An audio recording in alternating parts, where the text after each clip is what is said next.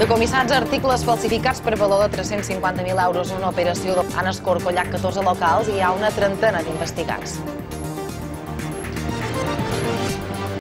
Rebut articles falsificats per valor de 350.000 euros. La xifra defraudada per les empreses podria ser, però, molt superior. Hi ha unes 30 persones imputades i s'han fet 14 escorcolls en locals de Son Castelló, l'Arenal, Camp Picafort, Palma Nova i Manacor. Les empreses es dedicaven tant a la venda al client com a la distribució dels objectes falsificats. Els investigadors han detectat fins i tot enviaments de mercaderia a les Canàries.